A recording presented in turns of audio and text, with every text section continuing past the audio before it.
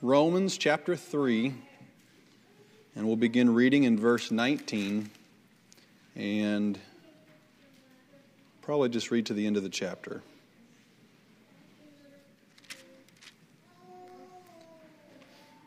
Now we know that whatsoever things the law saith, it saith to them who are under the law, that every mouth may be stopped and all the world may become guilty before God. Therefore, by the deeds of the law, there shall no flesh be justified in his sight. For by the law is the knowledge of sin. But now, the righteousness of God without the law is manifested, being witnessed by the law and the prophets even the righteousness of God which is by faith of Jesus Christ unto all and upon all them that believe. For there is no difference.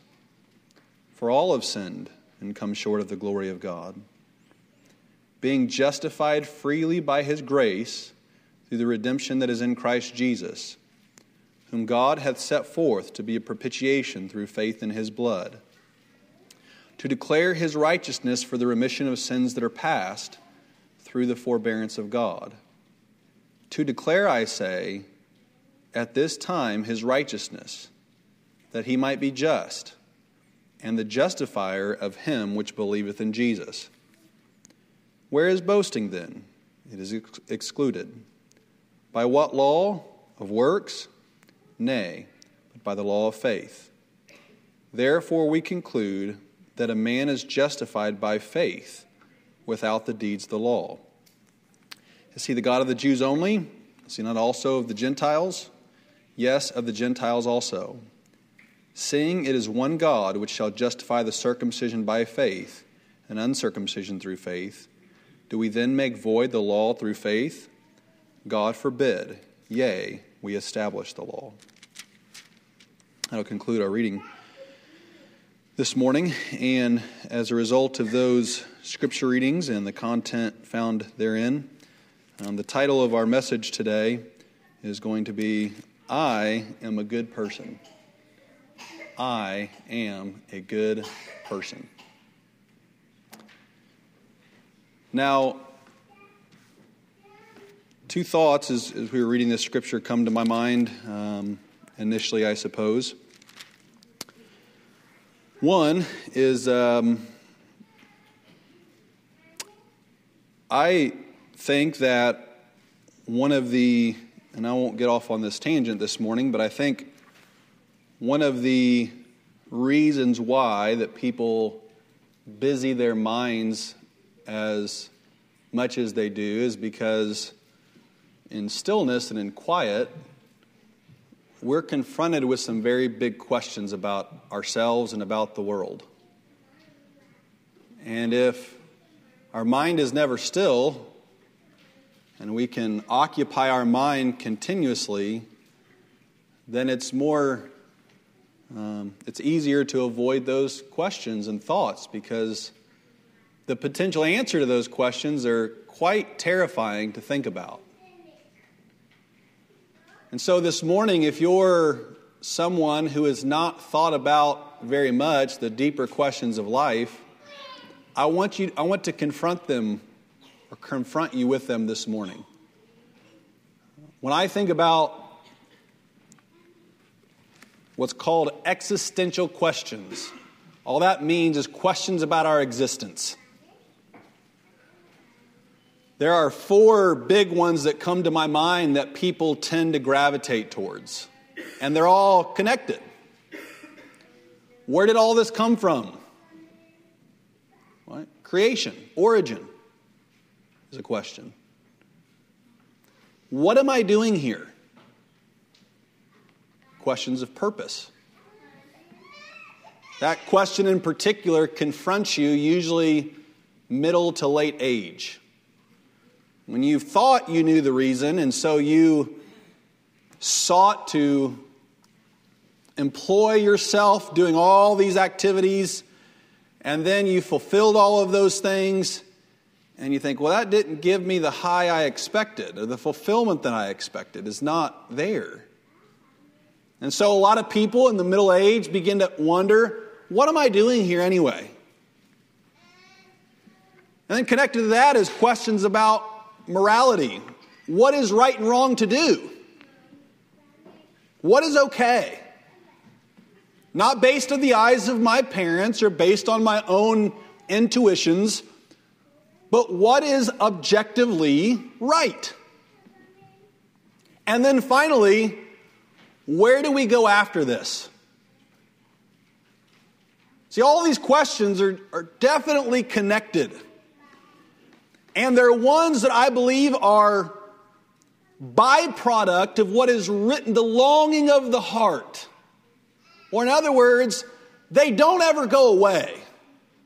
We can suffocate them and we can avoid them, but left unanswered, there is a need in the human heart to know.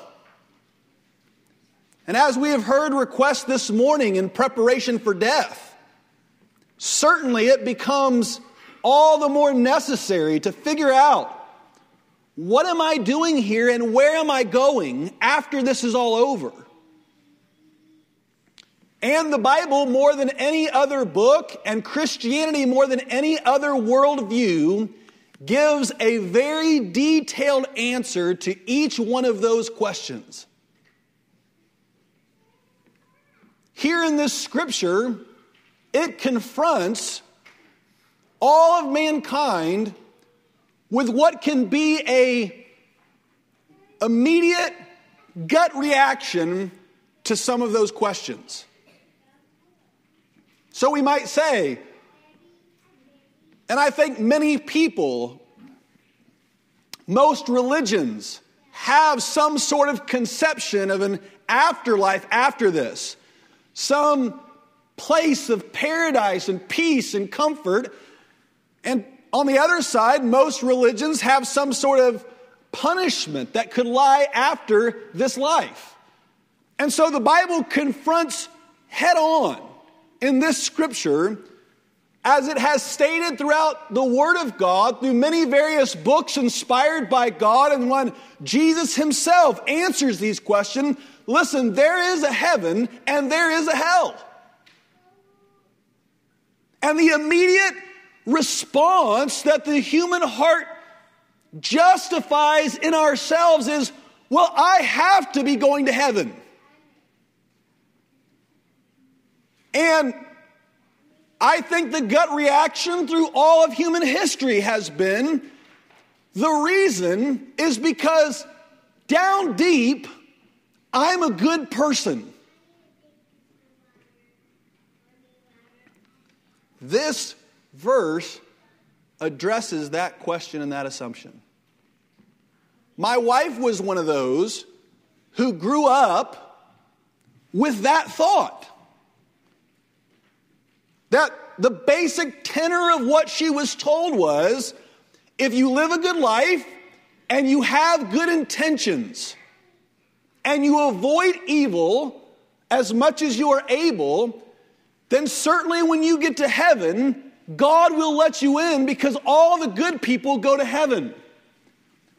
But I want you to know that not only is that idea nowhere in the Bible, the Bible clearly refutes even the smallest assumption that that could ever be true.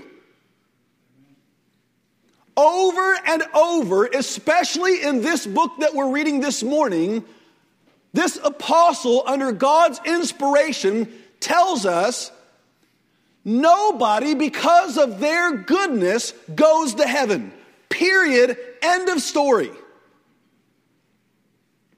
And so, if believing in Jesus because Christianity says so in some shallow way is what you've planned, but in case that doesn't work, my backup plan is that I'm going to live good all along the way so that when I get to God, God will see my good intent and let me in. Let me go ahead and spoil it before you get there. He will not allow you entrance there. This scripture told us with no, with, with absolute clarity by the deeds of the law, All that means is by the performance of good works, no flesh is justified in God's sight.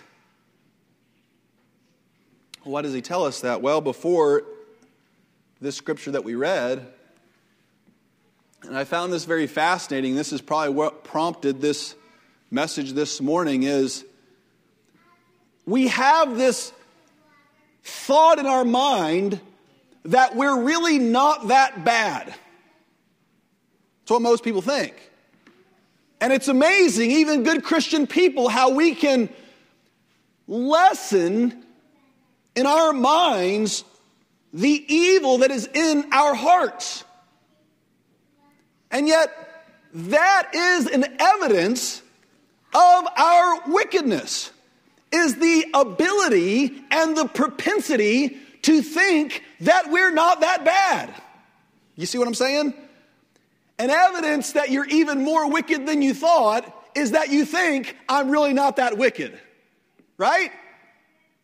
That's how it's, it's called in the term, a term that was left from the Reformation was that exact thing that our depravity bends upon itself.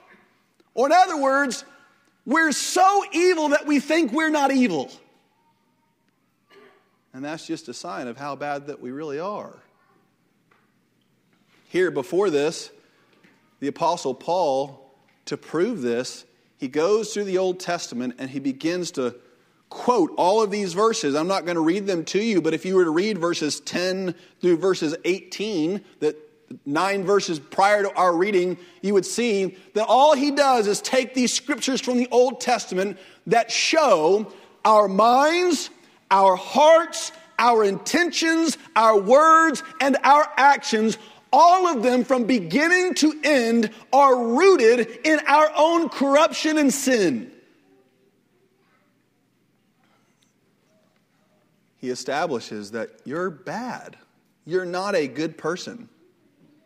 See, good's a relative term. Good compared to what? Good compared to your siblings?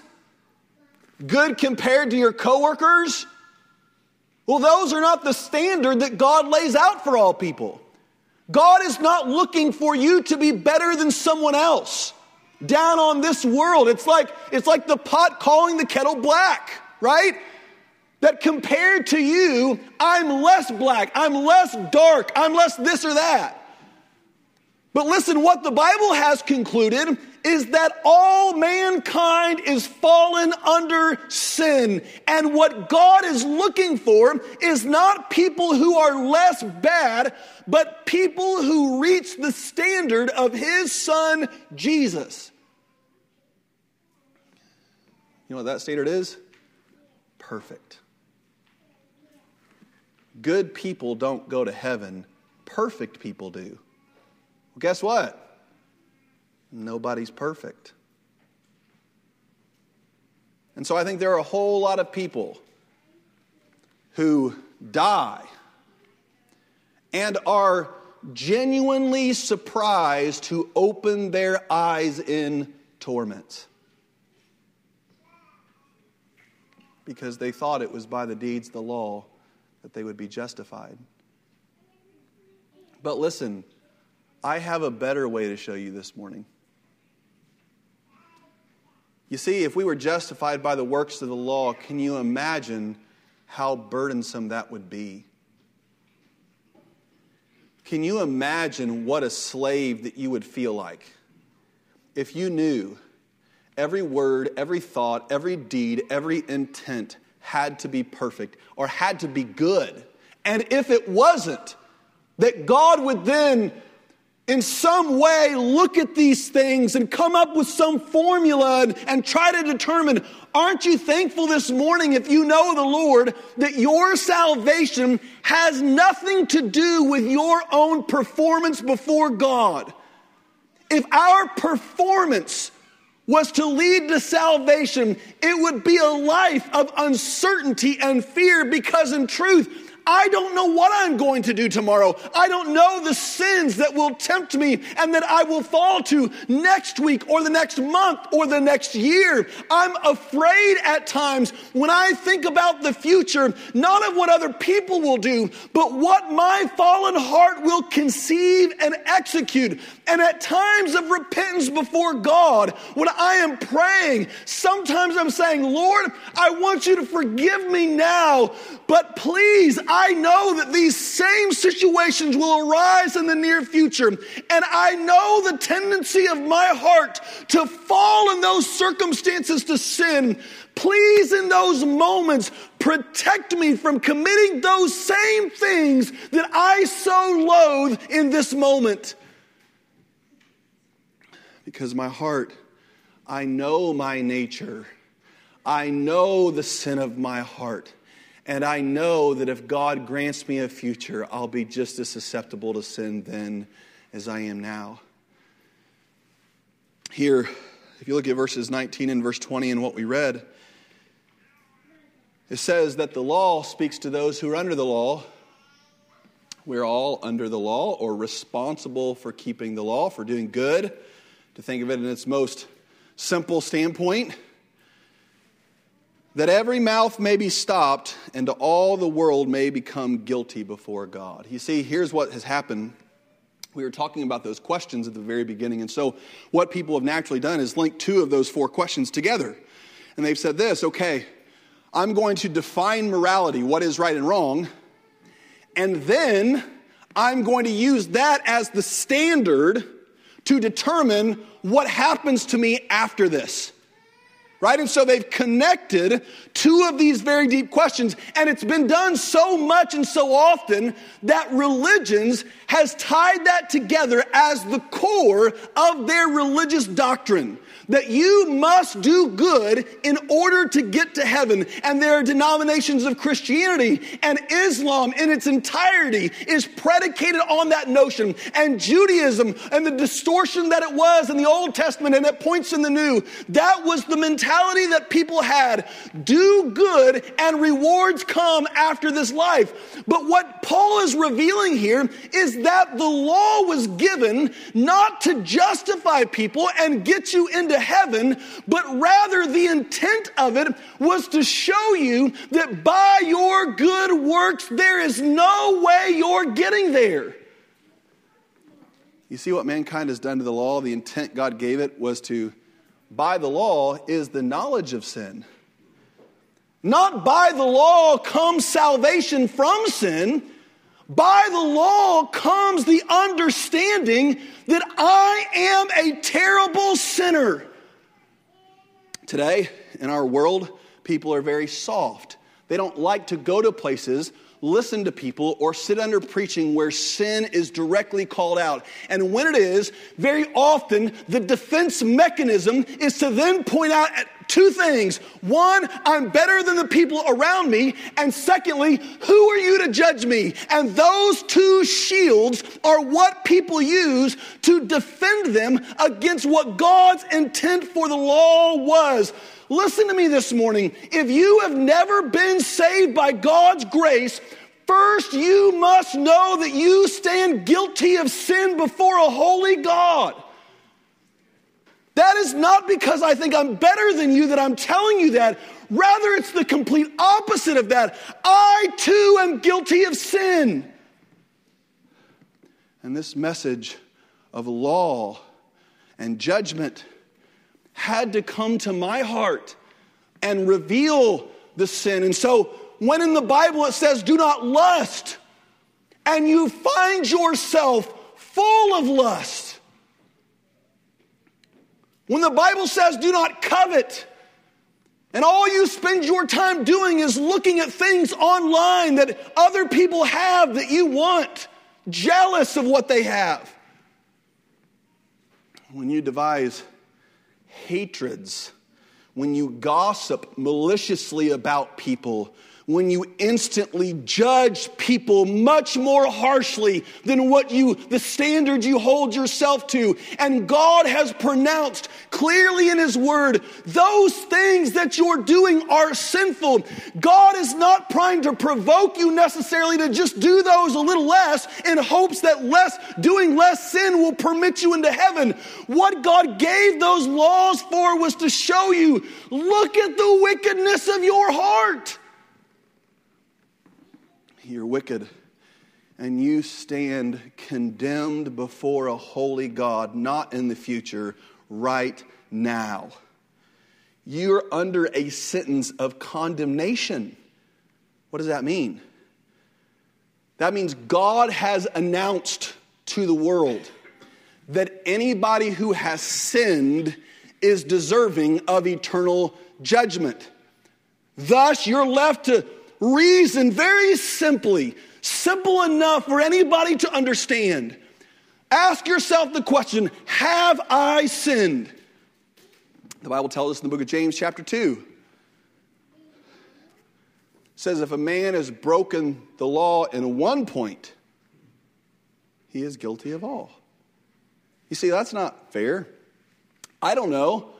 Think about it like this if you bought a brand new, very expensive vehicle, and there was just one integral part in the engine that was broken, would you be satisfied? No, what would you do? You would say, This is defective. And what if the guy came back and said, Well, it's just one part?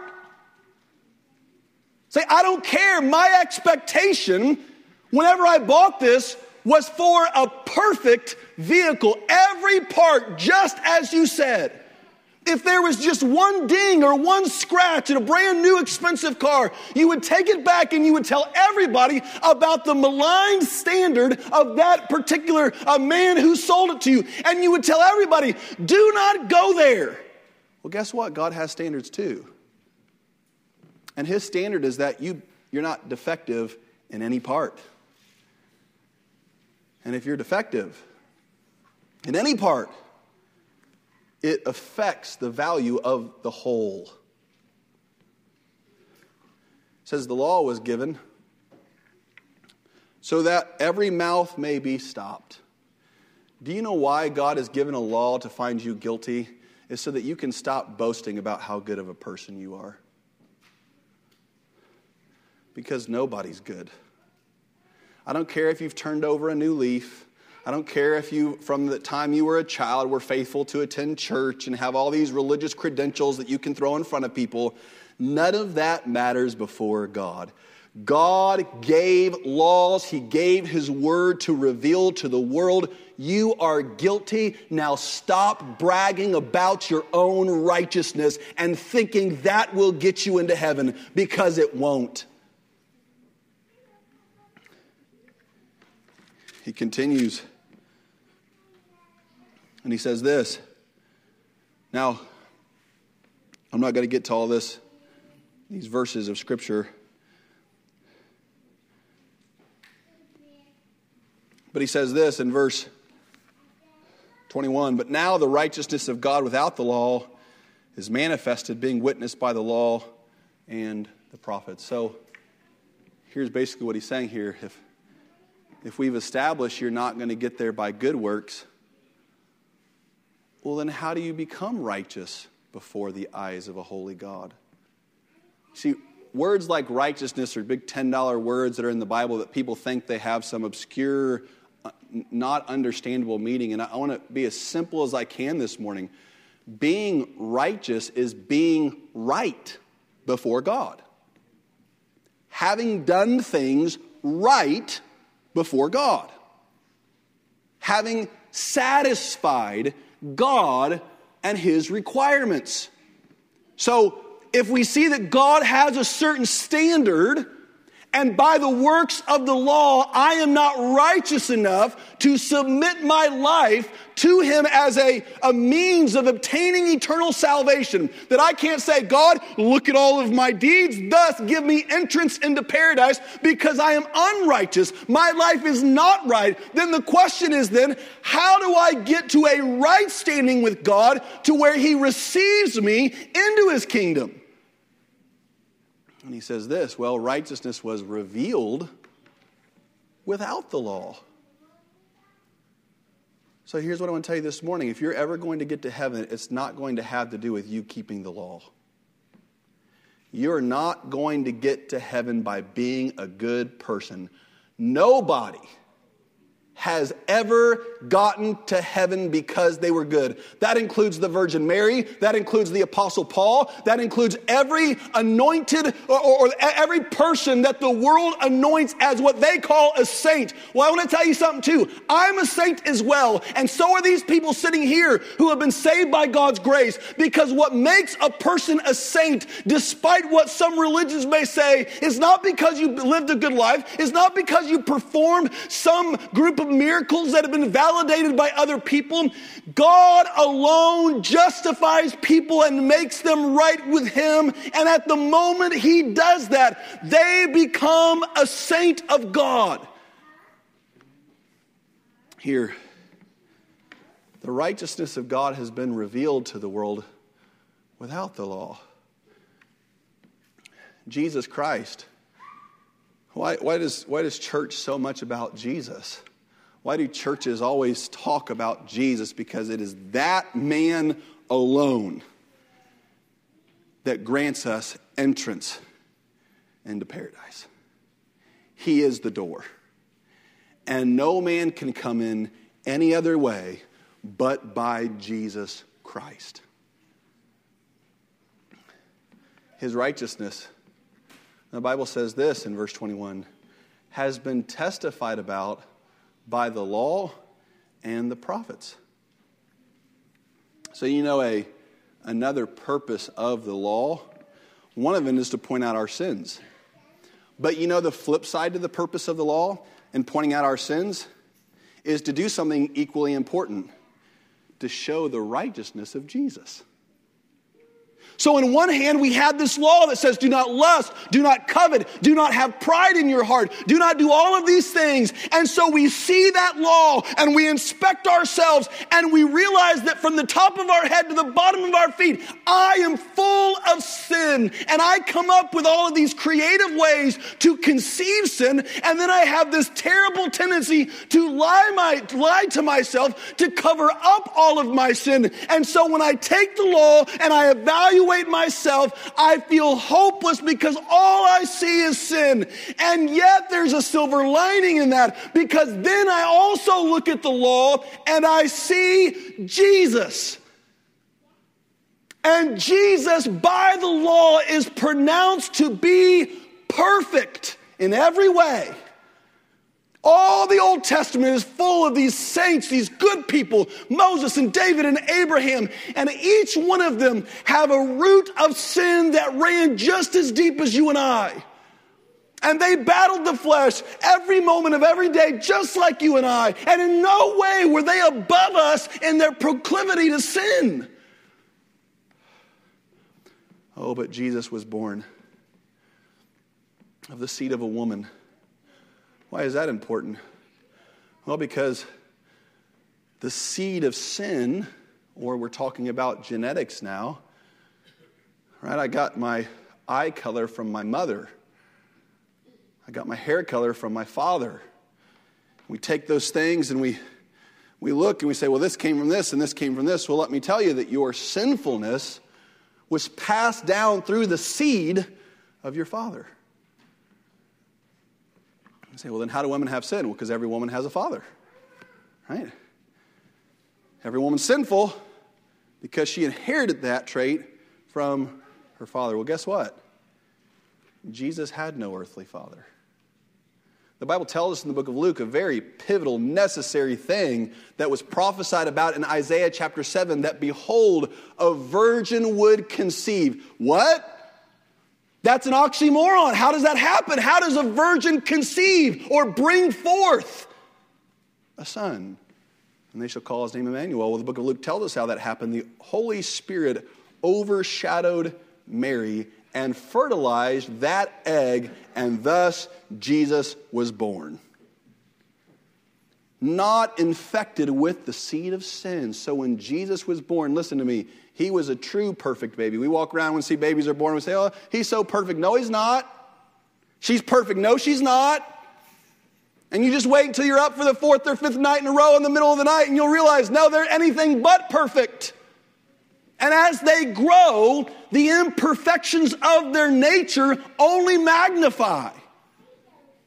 And we began to realize that at the youngest of ages, they lie and they steal and they're violent and they have pride. All of those things cover even newborn children. And listen, Jesus was different because when he was born of a virgin and the law was strictly peering over them, he was responsible for keeping the law. And for over 33 years, Jesus, day in and day out, in a sinful world, interacting with sinful, awful people, Jesus remained spotless and sinless.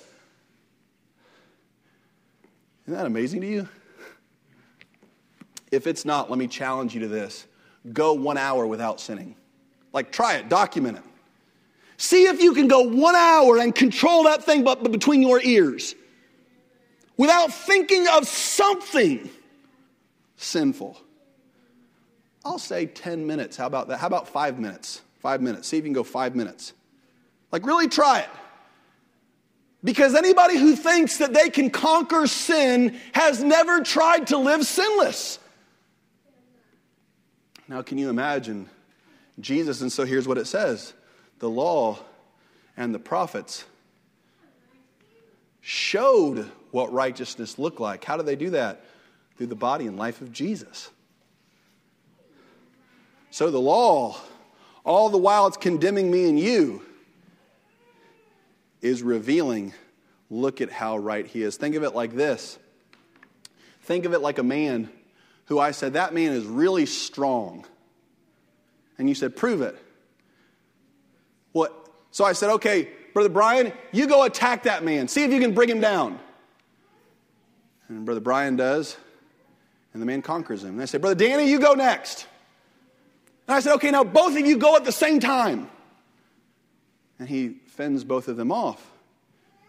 And I continue to want to try to prove the strength of the man. And so one by one, I began to up the ante. I began to go to younger men and stronger men and those that have a more of a, a skill to wrestle. And one by one by one, we send it the man and he conquers them all. And so finally, I say it's a free for all. Everybody go at him and try to bring him down. And if, when it's all said and done, all of them are defeated on the ground and he is the champion of them all, that personifies what Jesus did to the law. Right? All of these laws that you and I are responsible for keeping all attacked Jesus. He was responsible to keep them all, both in letter and in spirit. And as every one of them rolled at him, he conquered every one of them. And as his life went on, the situations in order to do so got more and more and more difficult from a human vantage point, right?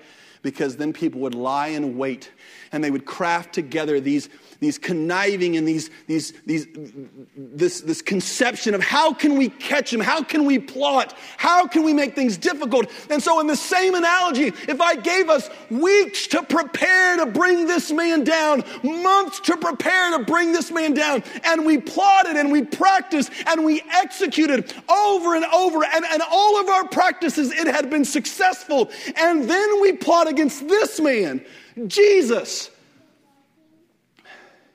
He didn't have to prepare, he didn't have to strain, but he kept every law to the jot and tittle perfectly.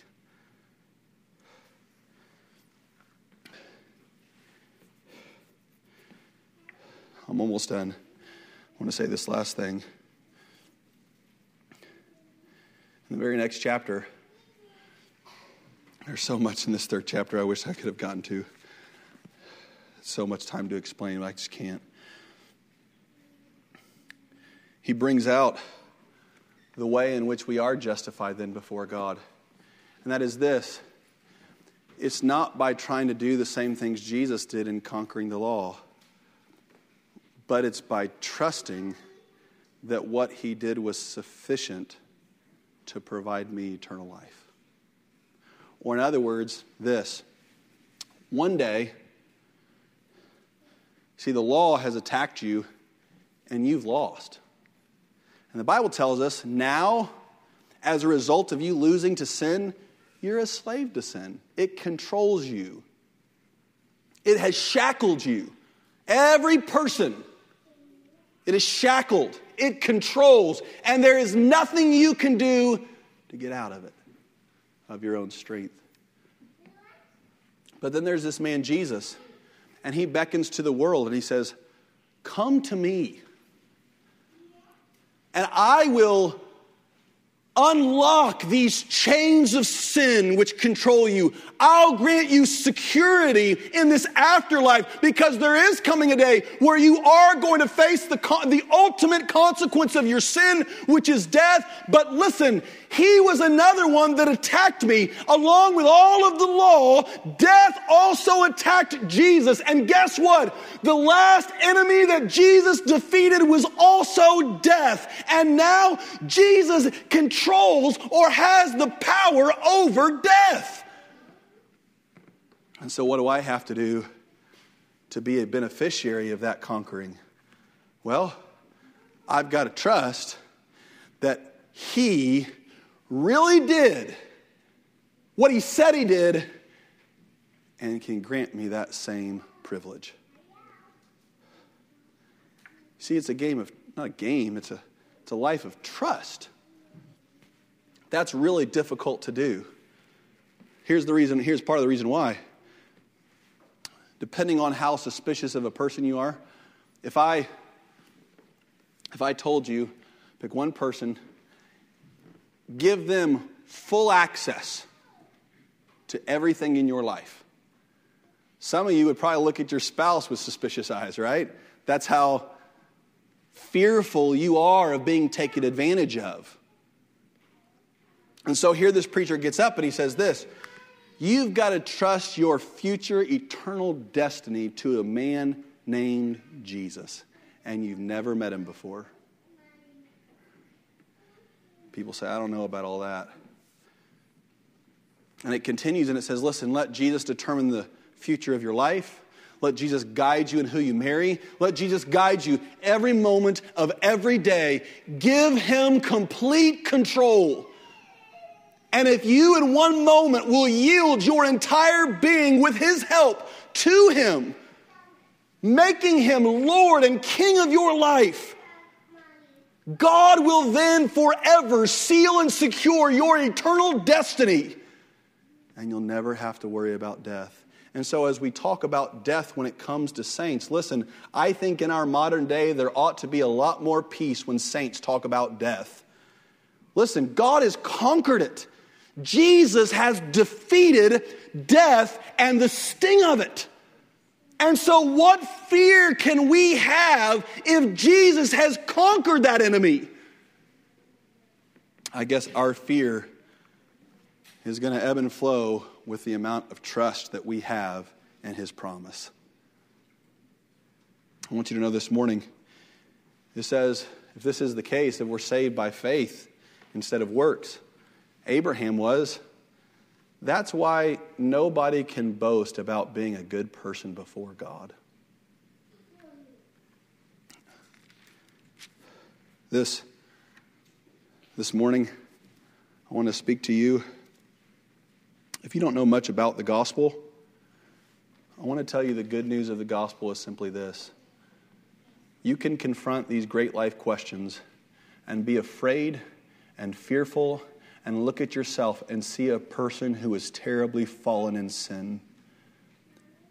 And the good news of the gospel is that you don't have to change how good of a person you are or try to become better in order to inherit eternal life. Jesus Christ has lived perfectly for you. and he will grant you his righteousness so that you can be saved from death. So I want to ask you a question, then I'm finished. Here's the unique thing that this church believes in opposition to many other churches, and it is a stark contrast from what other Christian churches believe. Here's what we believe. Many will say, if you want this offer, come up here and accept Jesus' offer into your heart. And so you come and you make all these words, and I, I give you the script to say. But you and I know this that the words you say are not necessarily an indication at the depth of their meaning in your heart. Or, in other words, when I look at my children and I say apologize, and they scream at their brother and say, I'm sorry, guess what I can surmise about their words? They're really not sorry. It was mere words and formalities that they went through in order to get a certain benefit. And many people today do the very same thing. They think that they can come as a guilty sinner who has deeply offended God and make some passive, shallow comments that say, I accept Jesus Christ as my personal Savior. Now give me the benefits. Here's what this church believes is distinctly different. No, no, no. I don't walk you through some I accept Christ formula. There is not some shallow assenting of your brain that you do, but it's with the heart that man believes unto righteousness. You see, what matters is the condition of your heart before God is humbled and surrendered before Him. What does that look like? Has anybody ever came forward and accepted Christ and done that? Absolutely. Absolutely. You don't think that there have been people who have been deep in sin that really them stepping out is a yielding of themselves? Certainly, my mother was one sitting on the back row of the church who, the moment she yielded to coming forward to seek the Lord, is the moment God saved her before she ever got out into the aisle because the condition of her heart was one of surrender. Is that a prudent way to direct people to find God? Absolutely not, because it usually ends in deception and me saying, I know the condition of your heart. You've truly repented and believed in Christ. No, here's what God wants. Here's what we believe. The moment that you feel conviction of sin, so I'm up here and I'm wailing away about your sin and how horrible of a sinner you are, and you're thinking, oh, I don't think I'm that bad. Man, he's exaggerating a little bit. But there will come a moment where, by God's Holy Spirit, He'll reveal to you the wickedness of your heart. Maybe it happens today, maybe it happens 40 years from now. God reveals to you, no, you're just a terrible sinner. And in that moment, God is showing you guilty before the eyes of your own conscience. So here's what you do you call out to Him and ask for his forgiveness. Then and there. You don't have to go find a preacher. You don't have to go to a church. You don't have to talk to somebody over and over about how you feel and let them soothe your conscience. Right then and there, begin to call out on God. And the moment that your sinful, depraved, wicked heart is forgiven, the moment that you are purged of all of those things, and in its place is put the righteous life of Jesus Christ, there is something that happens to you. We call it having a salvation experience. And I think there was, who was it? I can't remember his name. Yesterday, an actor died, famous actor, had a whole lot of problems in his personal life. I began to read somebody, uh, maybe Sister Megan shared some thing. It talked about his come a point where he had to surrender it all to God, and his words were this I knew I was in the presence of God. That's the significance of what we're talking about. There was an awareness that God does something to you. You're not told about it, you tell about it. When once was darkness and then is an illuminating light, do you think somebody needs to tell you about it? Where once was pain and now is euphoria, do you think that you need to be told about it? Where once was sorrow and depression and anxiety and now lies joy that is deep, do you think you need to be told about it? No, salvation is something we experience with God. It is not derived from works of the law. This morning, I'll say this and I'm done. If you thought that you're going to get to heaven through your works, lay those fig leaves down. Lay those fig leaves down. That's what Adam and Eve did when they were caught breaking the law. They put fig leaves together to try to hide their guilt. This morning, I pray that God would reveal to you you need the righteousness of Jesus Christ applied to your heart if you're ever going to make it into heaven. And to receive that, you've got to put your full faith in Him.